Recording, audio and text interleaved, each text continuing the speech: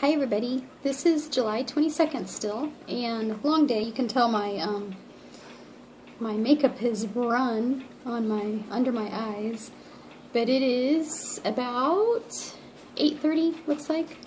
Oh yeah, you can see the clock up there. Um, this is my dinner. This is my next meal, and it is. Um, I have about three ounces of red meat and about a cup of broccoli and probably a half a cup or a cup of spinach.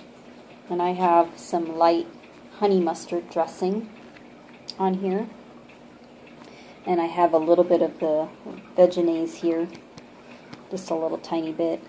But anyway, this is going to be my, um, after the last video that I posted, I had two rice cakes caramel rice cakes with peanut butter, or no, almond butter, probably a tablespoon of almond butter, and um,